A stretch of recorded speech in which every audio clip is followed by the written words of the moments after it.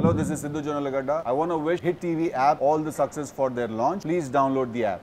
సురక్ష కార్యక్రమం విజయవాడ పశ్చిమ నియోజకవర్గంలో నలభై మూడో డివిజన్లో ఈరోజు ప్రారంభించడం జరిగింది దాదాపుగా పద్నాలుగు వందల అరవై ఆరు మందికి ఈ సురక్ష ద్వారా ఈ డివిజన్లో సర్టిఫికేట్స్ మంజూరు చేయడం జరుగుతుంది దీంట్లో క్యాస్ట్ సర్టిఫికేట్ కావచ్చు ఇన్కమ్ సర్టిఫికేట్ కావచ్చు అదేవిధంగా ఆధార్ కార్డు అప్డేషన్ కావచ్చు హౌస్ హోల్డ్ స్ప్లిట్టింగ్ కావచ్చు రేషన్ కార్డ్స్ కావచ్చు ప్రతి ఒక్కటి కూడా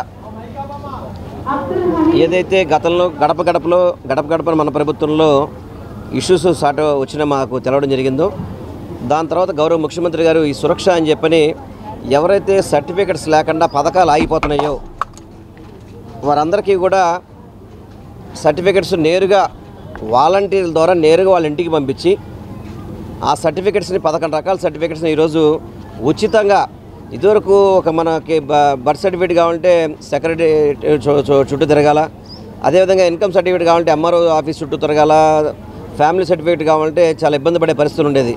కానీ వాటన్నిటిని కూడా నేరుగా వాలంటీర్ మీ ఇంటికి పంపించి మీకు కావాల్సిన సర్టిఫికేట్స్ని తీసుకోవడం ఆ సర్టిఫికేట్ అప్లికేషన్ తీసుకుని దాన్ని టోకెన్ రేజ్ చేసి వాళ్ళకి ఈరోజు ఇక్కడ డిస్ట్రిబ్యూట్ చేయడం అనేది గతంలో కావచ్చు ఆంధ్ర భా- భారతదేశంలో ఏ ముఖ్యమంత్రి కూడా ఈ విధంగా పరిపాలన చేస్తుండ్రు. అంత బ్రహ్మాండంగా ఈరోజు గౌరవ ముఖ్యమంత్రి గారు చివరి వ్యక్తి వరకు కూడా పథకాలు అందాలనే ఒక లక్ష్యంతో ముందుకెళ్ళడం చాలా అభినందనీయం. ఇవి తెలిసి తెలియక ప్రతిపక్ష నాయకుడు చంద్రబాబు నాయుడు కానీ దత్తపుత్రుడు కానీ ఒకసారి పరిపాలన చూడమని చెప్పండి. ప్రతిరోజు ప్రభుత్వం మీద ఆరోపణలు చేయడం కాదు. గతంలో మీరు పవన్ కళ్యాణ్ చంద్రబాబు నాయుడు బీజేపీ ముగ్గురు కలిసి పరిపాలన చేశారు. అప్పుడు పరిపాలనకి ఇప్పుడు పరిపాలనకి వ్యత్యాసం చూడమని చెప్పండి. ఏ విధంగా జగన్మోహన్ రెడ్డి గారు చేస్తున్నారు? నలభై ఇండస్ట్రీ అన్న చంద్రబాబు నాయుడు ఏ విధంగా చేశాడు నలభై యువకుడు ఏ విధంగా పరిపాలన చేస్తాడనేది ఒకసారి ఆలోచించమని చెప్పడం తప్ప ప్రతిరోజు కూడా తిట్టడం ఏకవచనంతో మాట్లాడడం ముఖ్యమంత్రి అని చెప్పినది. నువ్వు పవన్ కళ్యాణ్ అనే వ్యక్తి ముఖ్యమంత్రి గారు నుంచోబెట్టిన అభ్యర్థి మీద ఓడిపోయావయ్యా. నువ్వు పవన్ కళ్యాణ్ జగన్మోహన్ రెడ్డి గారి మీద కామెంట్లు చేస్తుంటావు. చ- ఎవరైనా చూస్తే నవ్వు వస్తుంది. రెండు చోట్ల నుంచున్నావు ఓడిపోయావు. స్థానిక సంస్థలు ఓడిపోయావు అన్ని చోట్ల ఓడిపోయావు. మళ్ళీ జగన్మోహన్ రెడ్డి గారి మీద నీకు ఇచ్చిన ప్యాకేజీకి న్యాయం చేయాలని చెప్పని ఈ విధంగా మాట్లాడడం అనేది బా అది బాధాకరం. ఏదైతే వాలంటీర్ వ్యవస్థని పవన్ కళ్యాణ్ అవమానించాడో క్షమాపణ చెప్పాలి. వాలంటీర్లకు క్షమాపణ చెప్పాలి.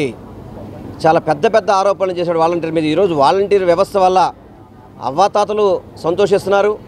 చేతు కానివ్వండి ఇతర పథకాలన్నీ కూడా నేరుగా వాళ్ళ ఇంటికి చేరే విధంగా జగన్మోహన్ రెడ్డి గారు వాలంటీర్ వ్యవస్థ పనిచేస్తుంటే ఆ వాలంటీర్ వ్యవస్థని అవమానించే విధంగా గతంలో మీ దత్త తండ్రి కూడా అవమానించి మళ్ళీ వెనక్కి వచ్చి క్షమాపణ చెప్పి మళ్ళీ ఈరోజు వాలంటీర్ వ్యవస్థ మేము కొనసాగిస్తామంటున్నాడు అంటే మీరు పవన్ కళ్యాణ్ అనే వ్యక్తి తెలుసుకొని మాట్లాడాలా? వాలంటీర్ వ్యవస్థను అవమానించాడంటే అందరిని అవమానించినట్టే. వాలంటీర్ వ్యవస్థలో సుమారుగా అరవై నుంచి డెబ్బై శాతం మహిళలు పనిచేస్తున్నారు. మహిళలను అవమానించాడు. ఎందుకంటే మహిళలంటే అతనికి లెక్క లేదు బాధ్యత లేదు గౌరవం లేదు. అలా ప్రతి మహిళను కూడా అవమానించే విధంగా మాట్లాడడం అనేది పవన్ కళ్యాణ్ తగదు వాలంటీర్లకు క్షమాపణ చెప్పాలని మాత్రం నేను డిమాండ్ చేస్తున్నాను Hello, this is Sidhu Jonalagada. I want to wish Hit TV app all the success for their launch. Please download the app.